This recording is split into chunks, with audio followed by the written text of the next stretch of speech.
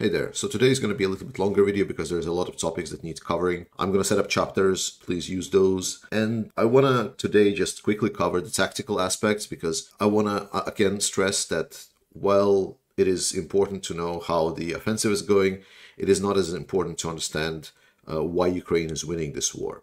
And I want to focus a little bit more about what makes us sure that Ukraine is coming at the end of this war as a victorious state and what's the situation around it.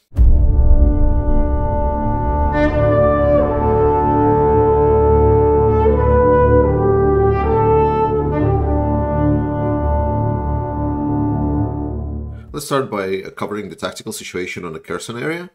Uh, Ukraine is trying to solidify the gains that it did. Uh, I have been receiving reports that Alexandrivka is contested, so potentially Ukrainians will be able to capture it soon enough. As far as I'm aware, Tsernovy Pole and Lyubimirivka are under Ukrainian control, and I know that Zeleny is right now contested. The rest is about as we know. Uh, Soldatsky and Pravidne, there has been reports that it's been captured by Ukrainians, but uh, it's not confirmed right now the biggest gains that Ukraine has is around the central area here, and this is where they're pushing further, actually. So we know that Davidov Brid was contested, and it still is. Uh, but we know that Ukraine advanced further, taking Kostromka, and now pushing, and some people are even saying that already taking Shasliva, and it's actually pushing towards the south. So they are going deeper and uh, trying to cut this uh, this uh, Russian-controlled territory and maybe move closer towards Novokakhovka. On this northern front, Arkhangelsk, as far as I'm aware, is mostly controlled by the Ukrainians and they're pushing south, but they're still fighting uh, close and around the city.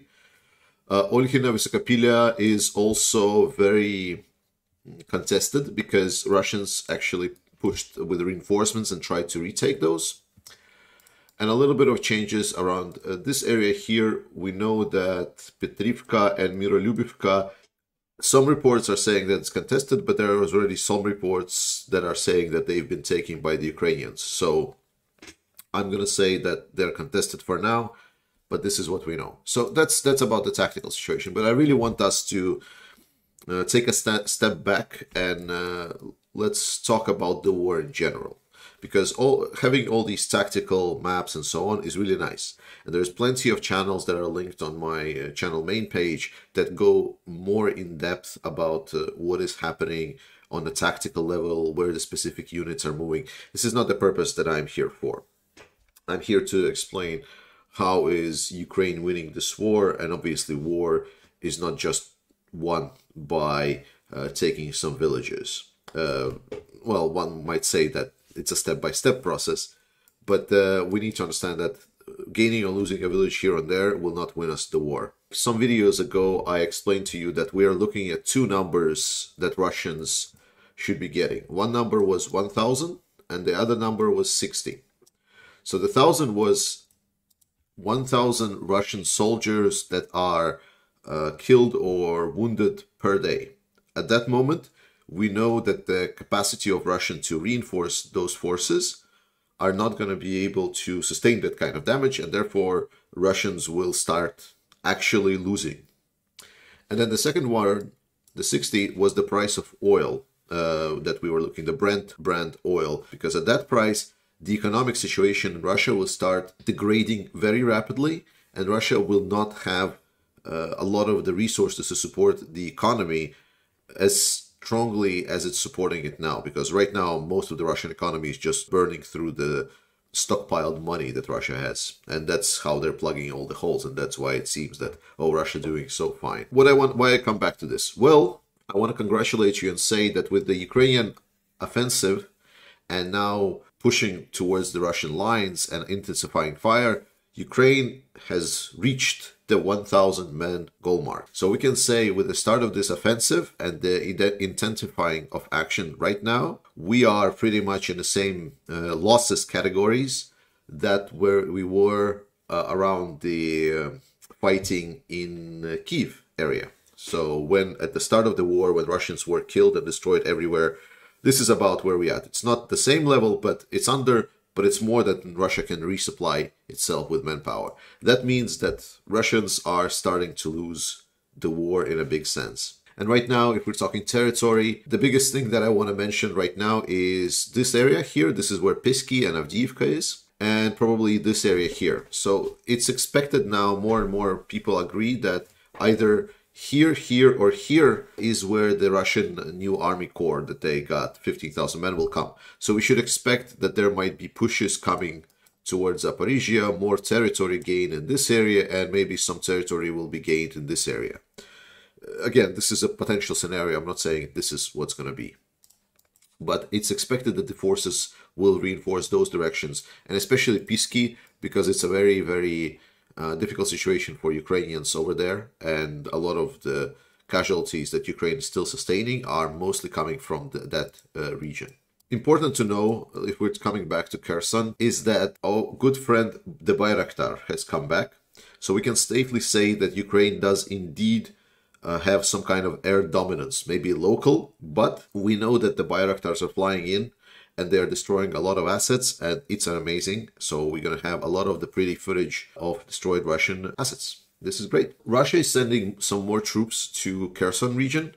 We've had reports that there is a huge, essentially, convoy and basically not convoy, but the flow of uh, of material that goes from through the Crimea towards uh, Kherson, and apparently they really want to get them in. Um, I'm not sure why, uh, because anyone with half a brain and just looking at the pictures and there's actual satellite images where there's like actually long queues of cars trying to get on the ferries to get across the Dnipro River, that is not a sustainable support line, right? We always need to understand that right now the biggest enemy of uh, Russians in Kherson region is not Ukrainian forces. I mean, yes, it is, but the biggest damage that's going to be dealt to them is attrition. So it's not going to be because the Ukrainians are going to kill every single Russian. It's probably because they're going to starve them out. So we know that there has been uh, this con not convoy but this flow of trucks and there around this area there has been actually it has been intercepted some sometimes and uh, there's actually quite big devastation that was reported in this area so it's not going to stop the whole flow but it's a nice feel good knowledge that a part of those ammunition and equipment that is coming into it is being destroyed also on the way. Another story that was not that long ago was that Ukraine was using a lot of uh, wooden HIMARS essentially. So they made decoys of HIMARS where the HIMARS would drive to position to shoot, and then Ukrainians would just conveniently leave wooden decoys with Russian, you know, we've seen a lot of videos from the Russian drones, and their uh, quality of the picture that they're receiving is extremely poor if you even look at the videos that Russian Ministry of Defense is putting out, the quality in those videos are atrocious for 21st century. So having a wooden decoy that's just barely colored green and it's located exactly where the HIMARS just shot at from, and uh, they've been able to lure out a lot of the um, expensive missiles like precision target missiles because Russia is running, running low on precision weaponry. So if they want to strike some kind of target with good enough precision, they need to use a very expensive and very limited piece of equipment to do that. Now, bridges in Kherson, as I said, most of them are destroyed, and we know for sure that most of the supplies are not coming through the bridges anymore. I think the most important thing that that I, I've been trying to convey this message over the couple of videos, and especially now with the discussion, we know that a lot of propaganda uh, are basically saying that Ukraine has uh, failed in a counteroffensive, that Ukraine has has already lost 10,000, 15,000 sometimes, like, I don't know, basically however, however many people. But I think what we know, what we need to understand and come kind of take a step back is that we came from Russians saying we're going to take Kiev in three days and then within a week Ukraine is going to be captured. This was the narrative when they started this war.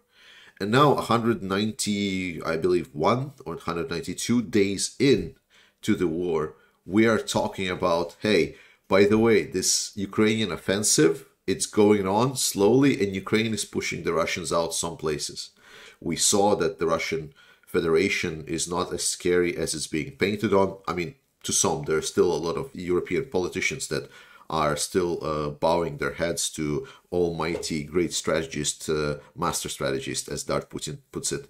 most of the people now saw that the Russia was very much reliant on whatever Soviet legacy they had, and on their own they don't really have that much to offer.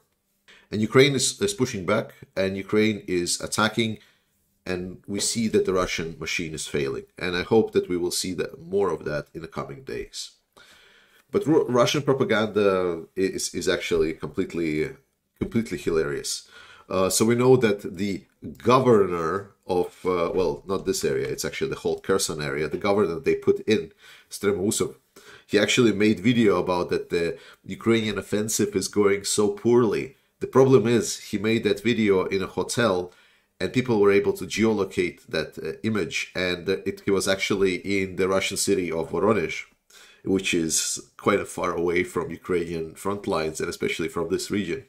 So it's hilarious to know that, that the person that's supposed to be in charge of this region is actually stating that everything is fine, don't worry, while being uh, in Russia. Another hilarious thing that Russians are doing a lot, especially on Twitter. I mean, Twitter is a complete garbage uh, dump right now in the com- in the last days because Russians are not holding back with the money, I guess, to pay a lot of the bot armies and troll armies, and there's plenty of useful idiots uh, in, in, in different countries in the world that are ready to share any kind of propaganda, no matter how stupid it is. But what they're doing right now is they're doing the Uno reverse cards, basically. Well, that's what I'm feeling it. They're taking the videos that, for example, were posted by the Ukrainian army, uh, by by by any kind of verified sources, and then they're taking them and then they're putting them in the in the messages and tweets saying, "Haha, Ukrainian depot has now been exploded in the Kherson region. Take that." and that's obviously hilarious because we know that Ukraine doesn't have huge stockpiles of ammunition.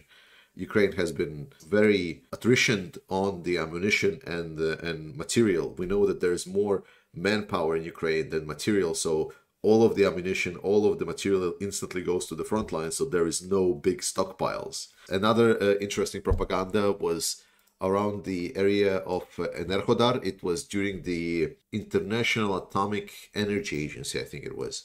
Uh, during their visit to Enerhodar, they say that there was a Ukrainian Spetsnaz that was sent to capture Enerhodar. And, and I shit you not, they say it was 60 men on a boat that were that arrived to Energodar uh, and then they were destroyed, captured, and there is apparently even some kind of footage that doesn't really show anything. But the point is, Ukrainians capture the, the, the city essentially inside of enemy lines with 60 people on a couple of boats.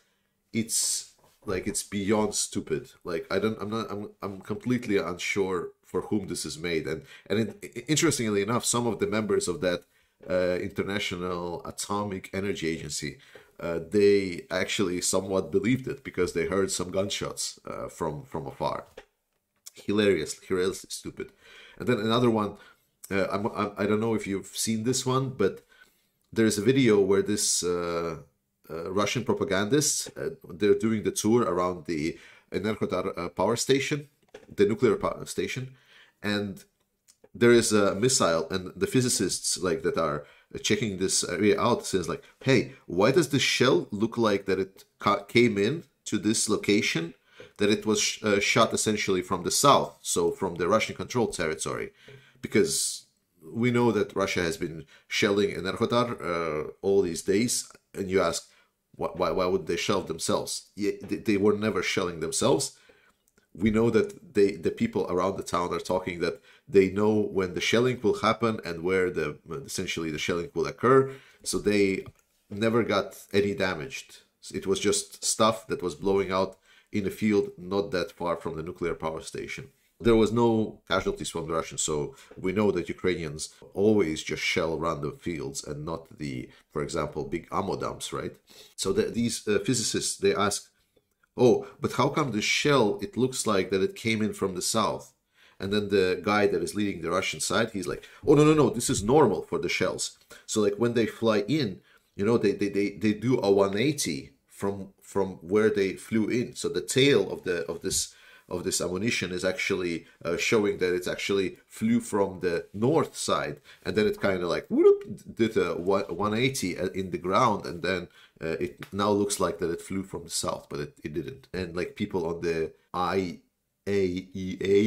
are kind of like yeah yeah yeah thank you thank you for explaining this so what this conflict has shown for the most part is that all these organizations, United Nations, Red Cross, the the other ones, they are almost completely useless when when we are getting to situation. They don't have the leverage, and the worst part is because they have this neutrality uh, presumption or or something. They have this people with the mindset of neutrality, either in charge on a lot of their commissions. They are treating what what obviously lied when they're getting obviously lied to by one of the sides of the conflict, for example, because they need to be having this mentality of neutrality, they still believe some of the things they're saying or, or questioning it, despite how stupid they are.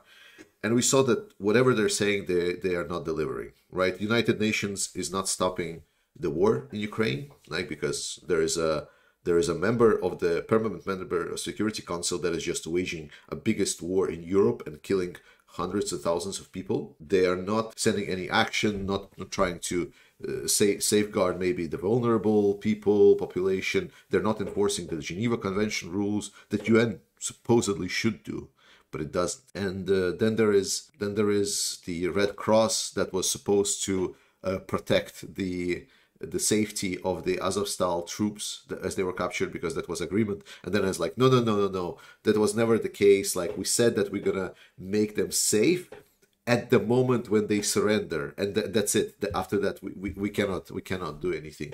So it's a it was a complete bullshit back then. And then now we have the uh, atomic. Uh, energy agency and the biggest thing that we were expecting is they're going to shut it down or at least make it make a suggestion that it should be a demilitarized zone around the nuclear power station. But we're not hearing that. Basically, they achieved nothing. They came in to look at the pretty shells, uh, then do a 180 turn, and then come back to Europe and make a report, neutral report, very neutral report, saying, well, we saw stuff of shelling. It could have been Russia, it could have been Ukraine, who knows? But both sides should exercise caution. Bullshit like that. Uh, let's let's go to the next topic that we have, and that is the U.S. and EU relationship with Russia, because that is something that is a big pain point, and Russia, surprise to absolutely no one, closes the Nord Stream and supply of gas to EU once again, and everyone is feeling surprised, but they also state that we should try to keep. Uh, negotiation with Russia going. I'm not going to tell you who said that a, you can Google it yourself, and B, I think it's pretty clear who might that be. It's funny. Russia is so in line to essentially damage the EU, but people in the EU and politicians in the EU still have this like, no, no, no, we, it's going to be fine. Russia is a trustworthy partner. Let's let's just let's just find a peace solution. And I think the best of this is being uh, shown by uh, this tweet. You know, on Twitter right now there's a trend that's been set out essentially like instead of for a tweet, you describe kind of the main message of what what's your core ideology or or something and like organization and people are doing this. This was the best one because it described like what ukraine strives for and what germany strives for. And i don't think i need to comment this much more. It's kind of self-evident where's the irony in this? The good news is, though, is that the Biden is requesting to get another 18.7 billion uh, dollars in lethal aid to Ukraine, which is great. The question is if it's going to be a single package deal or it's going to be as before drip feeded month by month, slowly, slowly, slowly saturating the Ukrainian forces. I really hope that it's going to be a bigger package right now because Ukraine are in a position to receive a lot of the stuff let's quickly touch on some Russian internal news. So we know that a good, interesting, funny story is that Russians are trying to recruit some homeless people in St. Petersburg to join the war effort in Ukraine, which is, I mean, it just shows just how big of a problem Russians have with their military, and uh, they are getting desperately close to start calling in mobilization. And I want to talk about the mobilization a little bit because it's a, it's a boogeyman that's been described a lot. Firstly, we have received like there are people that counted essentially how many tanks, for example, Russia has.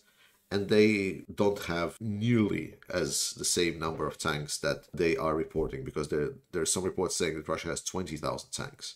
But the when some people actually counted, it turns out that's more closer to six. And now Ukraine is apparently reported destroyed around 2,000 tanks. We need to talk about demobilization because while mobilization is important and it will get the troops, there's two very key problems that Russia will have with mobilization. First thing is that the, there is not that big number of instructors that can train the Russian forces.